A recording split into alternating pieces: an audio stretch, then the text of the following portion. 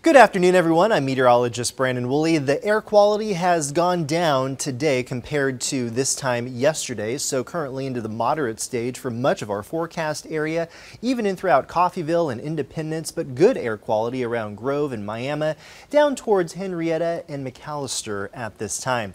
This afternoon, we'll reach 97 degrees in the city of Tulsa. Southerly winds, not too much of a factor, just like yesterday, between about 5 and 15, along with mostly sunny skies some cloud cover, especially to the north of the Tulsa area, including Bartlesville, some cloud cover there, 96 degrees, a little bit cooler, but still very hot in Coffeyville at 94 and 95 around Stigler and down to the south in McAlester. Overnight tonight, mainly clear skies. We're down to 75 degrees for that forecasted overnight low. South winds between about 5 and 10 miles per hour, and everybody seeing those lows somewhere from the low to the mid 70s across the area.